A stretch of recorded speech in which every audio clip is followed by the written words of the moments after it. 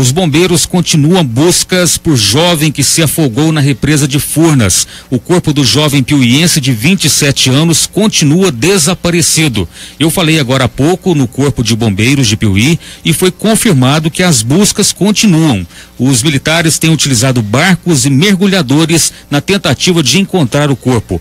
No domingo próximo ao dique em Capitólio, testemunhas informaram que uma forte onda, oriunda de uma embarcação, atingiu jet ski, onde estavam dois amigos. Com o impacto, a moto aquática ocupada por eles virou, levando um dos ocupantes a submergir nas águas. Somente o garupa, que estava com colete salva-vidas, conseguiu se salvar. Então continuam aí as buscas pelo corpo do jovem piuiense.